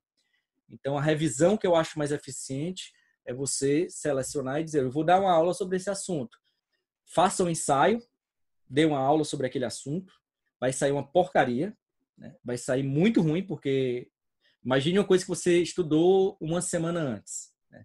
Você estudou controle de condicionalidade uma semana antes. Hoje você quer dar uma aula sobre controle de condicionalidade. Você não vai lembrar de 40% das informações. Mas se você tiver feito uma leitura ativa, fazendo mapa mental já naquele momento, você vai tentar fazer uma aula, vai tentar lembrar o que sabe, vai consultar o mapa mental que você fez, vai perceber que vai ter muitas omissões. E uma vez que você é, é, fez esse ensaio bem falho, bem errado, você é, vê o que é que você poderia ter falado e depois sim dá uma aula mais completa. Isso é rápido. É, eu acredito que você consiga fazer isso em 20, 30 minutos no máximo, porque é uma aula para você mesmo. Se você tiver em grupo, pode ser para o grupo. Né? Mas o ideal é que é, é, revisão seja por outputs. Seja por output. Revisão é usar o conhecimento. É, é, é criar mecanismo para que você avise para o cérebro que aquela informação é importante. Doutorado é essencial para ser excelente advogado juiz? Não, não é. Né? Doutorado é essencial para se você quiser ser pesquisador. Né? Mas se você quiser ser juiz, advogado, são outras habilidades, são outras ideias. É, o doutorado ele, ele leva para um nível cognitivo que está acima do que a prática exige para você ser excelente. Mapa mental. É, mapa mental, eu repito, mapa mental, já quando eu falei sobre leitura de alta performance, eu comentei um pouco sobre mapa mental. Mapa mental, ele é eficiente se você tiver prática. Você desenvolve a habilidade. Eu recomendo muito que se faça mapa mental. Né? Eu não faço sempre, né? não é todo texto que eu faço mapa mental, mas aqueles textos que eu entendo que são relevantes para a aprendizagem, eu geralmente faço mapa mental. Artigos científicos, é, livros, capítulos de livros, eu, eu costumo fazer mapa mental disso. Qual é a dica que eu dou para mapa mental? Vá desenvolvendo, vá desenvolvendo, aprendendo. E qual é o objetivo do mapa mental, da elaborar o um mapa mental? Funcionar como leitura ativa, ou seja, você está fazendo uma leitura que é input e output ao mesmo tempo, né? funciona como leitura ativa. E lá na frente, quando você for precisar revisar, ou se você quiser dar uma aula, ou quiser dar uma palestra sobre aquele tema, você vai ter já um material de apoio para poder é, desenvolver aquelas ideias, porque o mapa mental estrutura né, as ideias de modo é, mais é, fidedigno. Sonho com a profissão que eu quero, com o conteúdo que estudei no dia, né? com o conteúdo que você estudou no dia é mais eficiente. Sonhar com profissão não adianta muita coisa, não.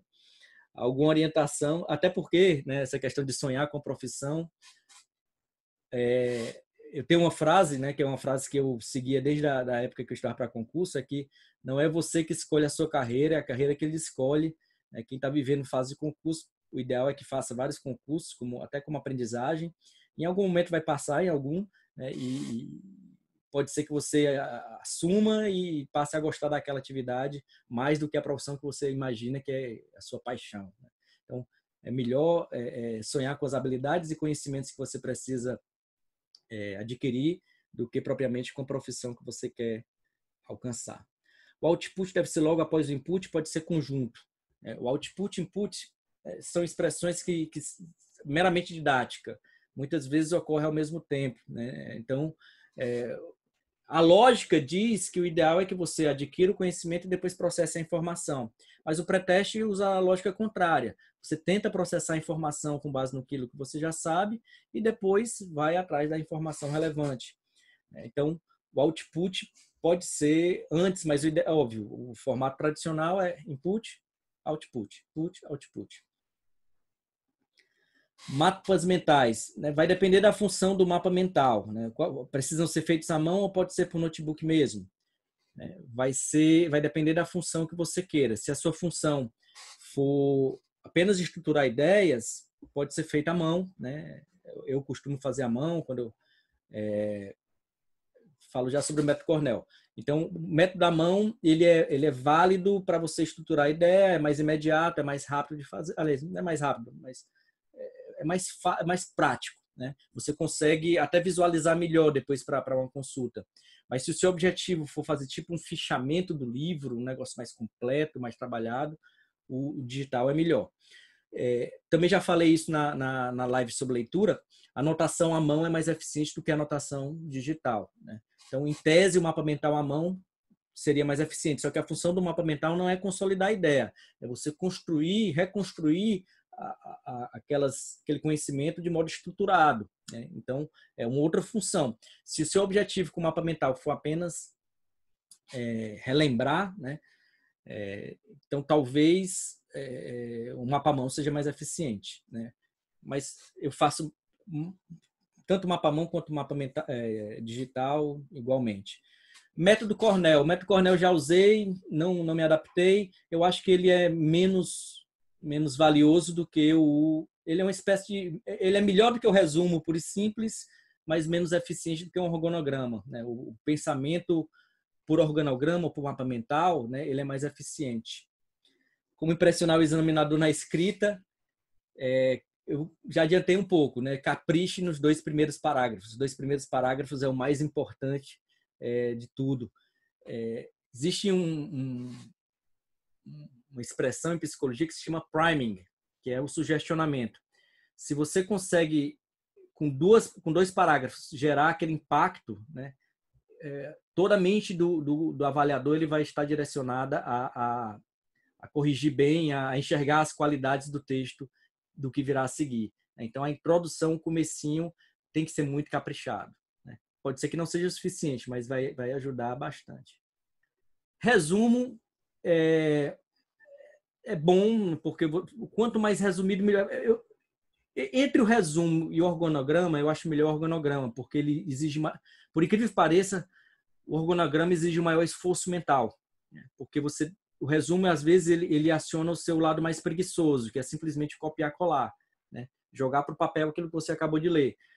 O organograma lhe obriga a ir além do que você leu, porque ele obriga a sintetizar, resumir e a reconstruir aquilo ali em termos de tópicos, de hierarquias, de importâncias de palavras-chave é, e assim por diante. Como lidar com questões de decoreba? É, simulações simulações é a melhor forma de você lidar com questões decorebas. Eu vou a questão de assistir aulas online, né? É, eu confesso que aulas presenciais só são úteis quando são ativas, quando testam habilidades. As aulas online, elas são interessantes até porque você pode acelerar, né? Pode colocar velocidade 2, mas a recomendação que eu dou é a mesma recomendação que eu dou quando eu estou com audiolivro ou com palestra de 5 em 5 minutos, pare e faça o output. Não adianta passar 30, 40, 50 minutos recebendo informação, recebendo input. O seu cérebro não vai conseguir processar tudo aquilo.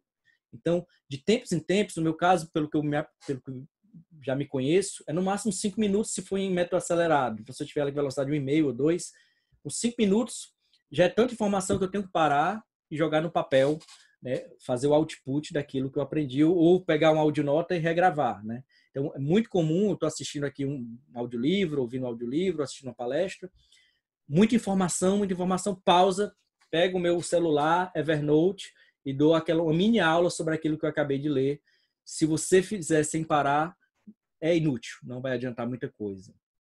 Alguma técnica para manter motivado e evitar a ansiedade Falei um pouquinho isso no começo. A motivação é conexão. É você estar engajado em um sistema que lhe permite evoluir. Todo dia você evoluindo um pouco, a motivação vem naturalmente. É mais ou menos quando você está treinando para corrida. Se você não estiver evoluindo, você não se motiva. Né? Então, a motivação ocorre quando você compara o seu tempo com o passado. Então, o monitoramento para você ver seu progresso é muito importante. Né? De monitor... É, tem uma, tem uma eu, eu, vou falar aqui de uma é, de uma técnica que eu, que eu copiei desse livro aqui, Paradoxo do Tempo, do Zimbardo.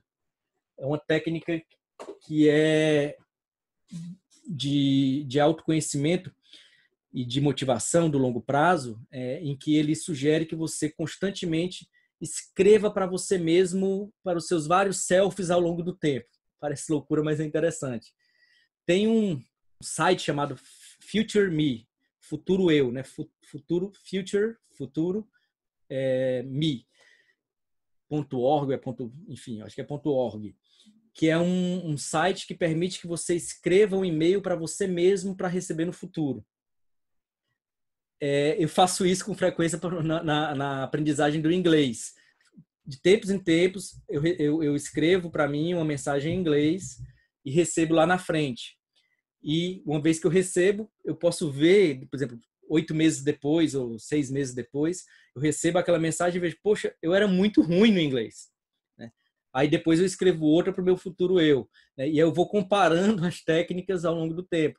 É possível que você faça isso numa aprendizagem de concurso, né? Por exemplo, você escrevendo é, é, sobre algum tema que você aprendeu e você manda para o seu eu do futuro para comparar a qualidade do texto, o seu nível de informação, ou eventualmente você comentar sobre o seu estágio atual. Olha, atualmente eu estou conseguindo fazer 70% da prova, tal, tal, tal.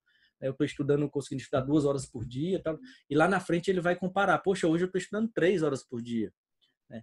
E aí, portanto, você evoluiu. É um sinal de que você aprendeu. Então, é uma técnica que eu usava é, muito, que eu uso, né, para aprendizagem do inglês e que eu recomendo que se use. É uma forma de autoconhecimento bem bacana, parece loucura, uma terapia, mas é interessante.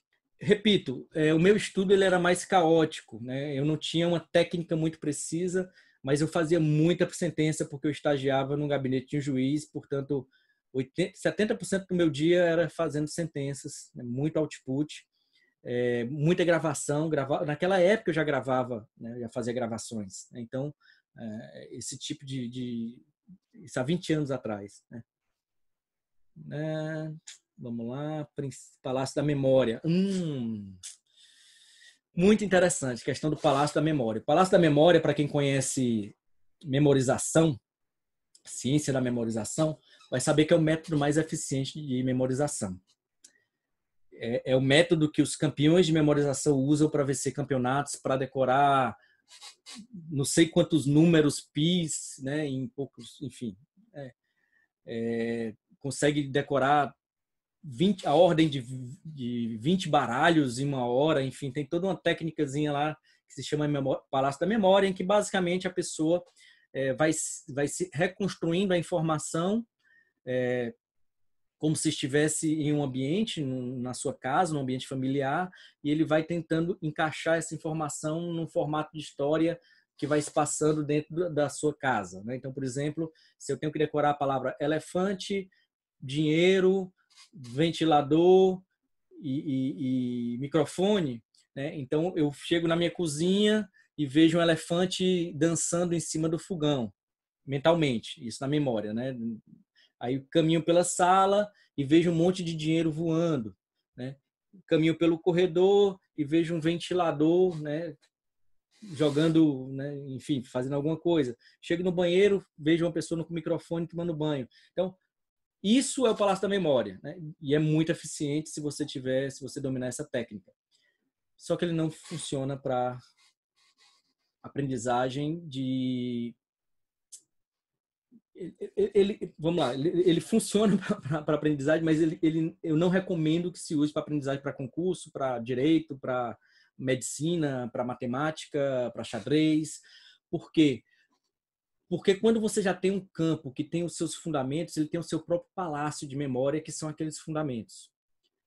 Então, o que você tem que dominar né, quando tá, estiver estudando, por exemplo, direito condicional, são os fundamentos da disciplina. O palácio da memória dentro do, do, do vai ser aqueles serão aqueles fundamentos. Você não vai usar a estratégia do palácio da memória. Você vai aprender aquele alicerce, aquele fundamento, e aquele fundamento vai lhe dar habilidades para aprender coisas novas. Você vai estruturar o pensamento. O xadrez, os, os enxadristas, eles aprendem chunks, que são padrões né, dentro do jogo de xadrez.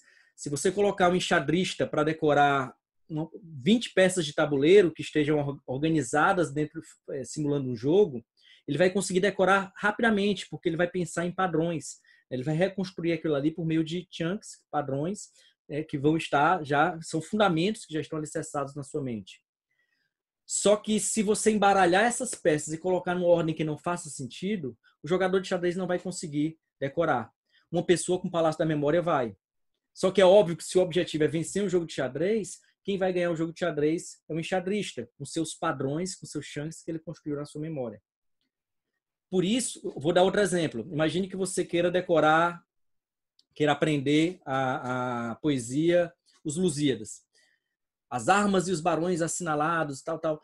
Se você é, colocar alguém com Palácio da Memória para aprender isso, para cada refrão, para cada estrofe, ele vai, ele vai construir uma imagem, uma figura e vai conseguir decorar rapidamente. Ele vai conseguir decorar com muita facilidade os Lusíadas. Só que ele não vai captar a essência da poesia. Se você perguntar o que é que você entende por as armas de, de barões assinalados, ele não, eu entendo que tem um monte de barão é, dançando em cima do fogão. Não faz muito sentido. Então, ou seja, a estrutura para se compreender uma poesia, a forma de, de, fundamento, de conhecimento que tem que ser para aprender uma poesia é diferente daquele para memorizar.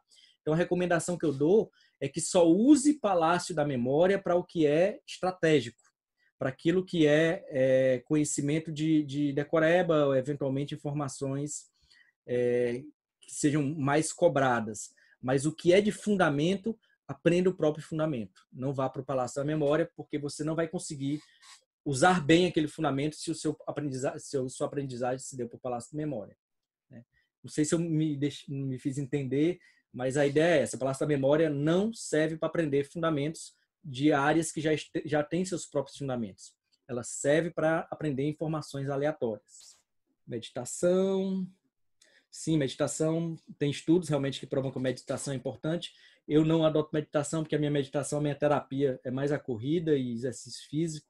É, durante a minha corrida eu já fico em processo de auto, quase uma meditação. Faz exercício do assunto do dia ou assuntos diferentes. O ideal, em termos de resolver questões, é você misturar, é você embaralhar. Você, eu recomendo, inclusive, que você, no meio das questões de direito que você eventualmente estejam fazendo, jogue até questões de matemática. Né? E tente resolver. Se forem fáceis, forem dentro do seu domínio porque ele obriga o seu cérebro a pensar de modo diversificado. Resolver questão é treinar habilidade, não é consolidar memória. Então, se você estiver fazendo várias questões diferentes, quanto mais questões diferentes você fizer, mais o seu cérebro vai treinar diferentes tipos de habilidade, inclusive a, habilidade de identificar padrões rapidamente. Não se deve fazer revisão como input. Né? Input é, vai gerar uma, uma, um problema que é que é muito conhecido em aprendizagem, na ciência da aprendizagem, que é a ilusão de fluência. Por exemplo, eu estudei, eu, eu recebi inputs sobre controle de condicionalidade hoje. Daqui uma semana eu vou ler a mesma coisa. É óbvio que quando eu, na medida em que eu vou lendo, vai me dando aquela sensação de que ah, isso eu já sei, isso eu já sei. E aí o cérebro não vai estar preparado para aprender efetivamente aquilo. O ideal é que na semana seguinte, quando você for revisar, você tenha aquele impacto de tentar dar uma aula sobre aquilo e dizer, eu não sei isso. E aí, portanto, você vai se esforçar cognitivamente para tentar aprender. E aí você vai tentar dar uma aula. Como é que você faz isso? Fazendo uma revisão rapidinha daquilo ali que você viu, relendo e preparando a aula. Então é o input e o output ao mesmo tempo, né, na revisão, no processo de revisão. Quem são melhores? Nós que fizemos concurso há 20 anos, ou hoje em dia os, os aprovados são melhores. Eu acho que hoje em dia é, os aprovados eles são mais estratégicos, né? os, é, comparando os aprovados de 20 anos com os aprovados de hoje. Na nossa época, né, quando eu fiz há 20 anos atrás, tinha pouco, poucos métodos, né? pouco, pouco conteúdo disponível e, portanto, o pessoal de antes era mais raiz no sentido de ter que se virar para aprender e, portanto, acabava desenvolvendo determinadas habilidades que hoje, são, que hoje não são desenvolvidas. Hoje o pessoal foca mais na estratégia de aprovação, é, deixando de desenvolver determinadas habilidades que são mais importantes. Então, eles são bons naquelas habilidades. O, o, pessoal de hoje é bom naquela habilidade que vai gerar aprovação. Né? Provavelmente, se eu fosse fazer hoje, eu teria que treinar essas habilidades para poder concorrer com esse pessoal, né? treinar algumas habilidades. Né? Eu digo isso, por exemplo, na prova oral. Na prova oral, né, eu, eu participei como membro né, de avaliação. o pessoal era um robozinho, né? O pessoal fazia tudo dentro de um determinado script, todo mundo igual, todo mundo fazendo os mesmos tipos de palavra, tal. Então, é, é, já estão preparados, já estão maceteados para aquilo ali. Você recomenda então, antes de iniciar reler, não reler, reler é inútil, não, não explicar por tópico. Por exemplo, eu vou ler um livro, vejo o tópico, tento relembrar. Não recomendo reler. Né? Releitura só como, como preparação para tentar explicar. É, ou seja, realmente você reler o mapa mental talvez seja interessante, mas reler todo o conteúdo é perca de tempo e vai gerar ilusão de fluência. O ideal é você tentar dar uma aula, fazer um ensaio, não conseguiu, vai ser ruim, vai ser difícil, vai frustrar, vai ser decepcionante, isso é bom para aprendizagem, essa frustração, porque a melhor coisa da aprendizagem é a sensação de que você não sabe. Né? Quando você está com a sensação de que sabe, é como se você não precisasse fazer mais esforço cognitivo para aprender. Então, a sensação de que você não sabe é boa, positiva. E aí você vai se decepcionar, você não vai conseguir dar uma aula, você não vai se lembrar, vai consultar o material, que pode ser o mapa mental ou eventualmente tópicos que você rabiscou no livro, e aí vai tentar dar aula de novo. Né? Se for um livro muito importante, né, um livro muito valioso, por exemplo, do Kahneman, eu li três vezes. É, aí sim a releitura é importante. Só que eu faço releituras, a releitura não como forma de relembrar, mas como forma de tentar ver outros tópicos relevantes, inclusive como forma de anotação mais sofisticada. Eu li uma vez como lazer, uma segunda vez eu li mais atentamente, e numa terceira vez eu li com, uma, com, com uma, isso com espaçado no tempo em quase 10 anos. É, li com atenção ultra focada para anotar tudo e ter um sistema de, eficiente de registro daquelas ideias, né, porque eu sabia que era um livro, mais importante é o livro que eu estou me baseando mais. Hoje, a, a, forma como os avaliadores preparam provas, elaboram provas, tem atrapalhado muito o conhecimento, porque eles estão medindo, é, muitas vezes, informações completamente relevantes, né? estão é, focando naquilo que não importa, quando na verdade eles deveriam focar nos fundamentos e nas habilidades. Né? Esse é, esse é o mais importante que, que um concurso deveria cobrar, e aí o que eu tenho, tenho percebido é isso. Acaba que o, o concurso direciona a aprendizagem para determinadas áreas que são totalmente relevantes, e isso gera problemas de evolução do conhecimento, sim. Revisão. É melhor revisar na semana seguinte? Na verdade, vai depender muito da importância da informação que você aprendeu. Se você pesquisar sobre revisão, você vai conhecer uma fórmula chamada spaced repetition, né? repetição espaçada, que é, eu tenho minhas ressalvas em relação a ela, porque ela pressupõe é, uma periodização de revisão em relação a informações inúteis. É, se você pegar a fórmula tradicional da revisão espaçada, você vai ver que é, é, no dia seguinte, depois na semana, depois no mês, três meses, tem toda uma formulazinha construída. Na minha ótica, se você fizer um bom output, você não precisa é, fazer uma revisão tão programada e planejada quanto a da Spaced Repetition, a não ser em relação a informações irrelevantes, que você não usa tradicionalmente. É, então, a recomendação que eu dou é que na semana seguinte você tente fazer uma revisão, que é uma recordação por meio de uma tentativa de dar aula. Se aquela informação for muito importante, você repete algumas vezes ao longo do seu período de aprendizagem. Pode fazer, inclusive, é, vai jogando essas informações importantes numa espécie de balaio e vai fazendo sorteio. Hoje eu vou fazer sobre isso, hoje eu vou falar sobre isso. À medida que você for revisando, vai, vai jogando, vai passando para a próxima Resolver questões devemos focar naquelas que caem com curso pretendido em todos? Em todos. Né? Na verdade, você pode, obviamente, é, como selecionar a questão? Você pode focar nas questões específicas, mas também misturando com outras questões de outros concursos, de outras bancas. Repito, o embaralhamento de questão é, é útil, é válido. Vale a pena até colocar questões de matéria que você nunca viu na vida, de temas que nunca vão ser cobrados, porque é uma forma de você treinar a habilidade do seu cérebro de pensar diferente fora da caixa. Num concurso real vai acontecer isso. No concurso real, você vai estar resolvendo questões, vai, vão surgir questões que você nunca viu na vida. Né? E aí você tentar fazer um esforço para resolver aquela questão já lhe permite construir uma habilidade de, de raciocínio lógico, mesmo em matérias que você não domine. Qual o prazo máximo de repetição de uma matéria que você domina? Cada dois meses, três meses? Repito, Space Repetition é uma fórmula feita para aprendizagem não conectada, aprendizagem desengajada, para aprendizagem em que você não exerce o output com eficiência. Né? Quando você cria um sistema de aprendizagem com mais conexão, com mais engajamento, com mais outputs, você não precisa ter um programa de revisão tão tão sofisticado evoluído como esse tem sido desenvolvido aí. Né? Se você quiser fazer uma aprendizagem sensorial, perceptiva, inconsciente, implícita, aí sim, né, o Anki, o, esses aplicativos que permitem fazer o Space Repetition pode ser úteis. Mas se o seu objetivo é construir uma rede de conexão de conhecimento que vai se construindo e aumentando, ampliando gradativamente, não é necessário você é, fazer um programa tão eficiente de space repetition, de revisão programada, planejada no tempo. É você ir construindo essa rede e, isso vai fazer parte de um sistema que você vai aprender é, é, gradualmente. Por exemplo, o fato de eu ter aprendido direito é, civil há quatro meses não me impede de quando eu de fazer a, a, uma simulação em que vai cair direito civil. Né? E eu vou fazer toda semana, então toda semana eu estou revisando direito civil. Então, acaba que a simulação vai ser uma fórmula de revisão. Se eu perceber que eu estou errando muito direito civil, é porque meus fundamentos não estão bons. Aí eu tenho que fazer um sistema de revisão de direito civil é, mais eficiente, por meio de aulas, por meio de aulas que eu digo, você mesmo dando aula, e por meio de, de mapas mentais